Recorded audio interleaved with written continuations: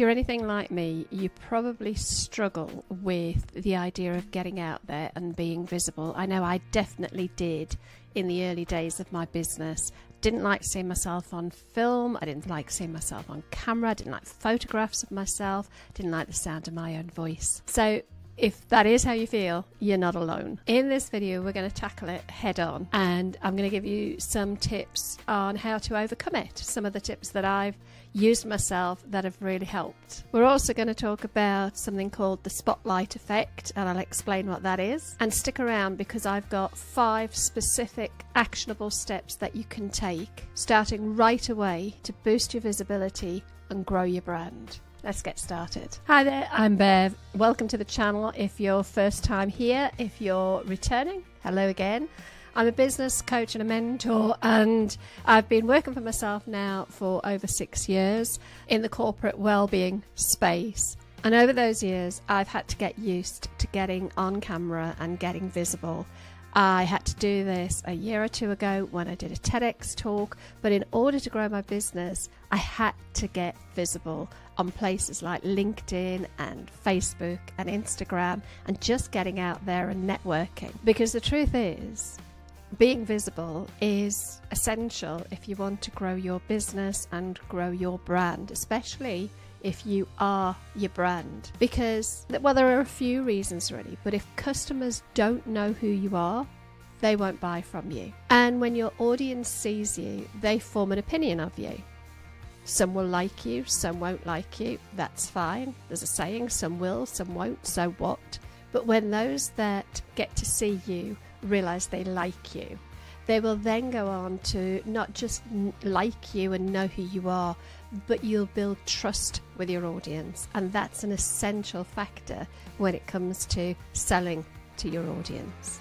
When you're highly visible and you're consistently visible, even if your audience aren't ready to buy from you right at the moment that they see you, if they continue to see you, you'll be top of mind when they're ready to buy from you. And the other reason why visibility is so important is because when you are visible, you're opening yourself up to opportunities.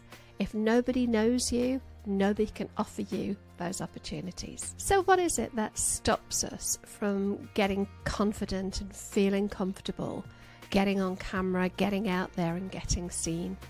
Well, a lot of it is down to fear of judgment and a worry that people are going to think we're saying something silly or we look different in some way. They, they might judge us for our style, they might judge us for our appearance, they might judge us for our opinions, and it's all perfectly normal.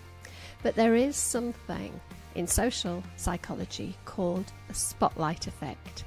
And the spotlight effect is a cognitive bias or a, an egocentric bias where we overestimate how much notice other people actually take of us.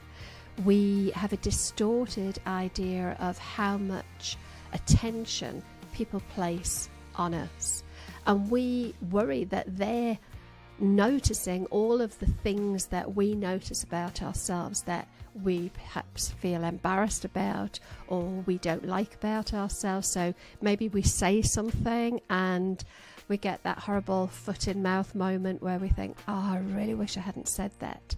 And we dwell on it, we ruminate on the embarrassment and the humiliation, when in reality, everybody else has probably forgotten about it. When we focus on ourselves, we can become really overcritical and we worry about things that really don't matter that much to other people. And we can get into analysis paralysis.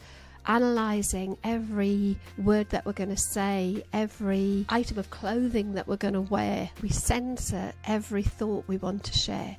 And while we're worrying about the really unimportant stuff, we're actually denying our audience from hearing the important stuff that they need to make their life better. So, how can we turn the spotlight away from us and onto our audience? Because that's what we really need to do to get over this fear of judgment. Well, we have to shift our mindset away from being self focused to being others focused. And when we do that, we focus on the problems that we are solving for our audience. And there are some companies that do this in their branding really, really well. Think of companies like Tesco, Every Little Helps.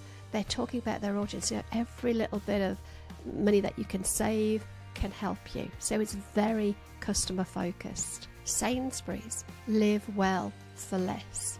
It's about the audience. How can they provide value to their audience? L'Oreal, because you're worth it. Interestingly, if I remember rightly, when L'Oreal first used that sort of tagline, the line was actually because I'm worth it. And they changed it to focus outwards on you rather than focusing inwards, which I think is really insightful. Just let me know if the sort of spotlight effect is something that you've recognized in yourself. I know I definitely did. So let me know how did it show up for you? What is it stopping you from doing, and what's your biggest fear? For me, it was always around my appearance. Did I look the part? And the other thing was always my voice. I always had this sort of hang up about how I sounded. And these two things, how I looked and how I sounded, would stop me in my tracks. So let me know what's been the biggest block for you in getting out there and getting seen. Let me know how you've overcome it as well, because this is something that we all struggle with, and I've got some tips for you. But your tips might just help somebody else as well. So, the t- first tip is a mindset shift, and we've touched on it already. It's about shifting the focus from self to others when you do this, it takes so much pressure off you because you're not having to worry about you. All you're thinking about is how can I serve my audience? And that feels very different. So that's tip number one make the shift away from self and towards others. Tip number two is about overcoming that need for perfection. We all make mistakes, we all say things that we didn't mean to say. I did a video a couple of weeks ago where I sat on camera and I said, I'm a 52 year old woman. And I'm not, I'm 58. And I actually took that video down and refilmed it because I felt so silly about making a mistake about my age.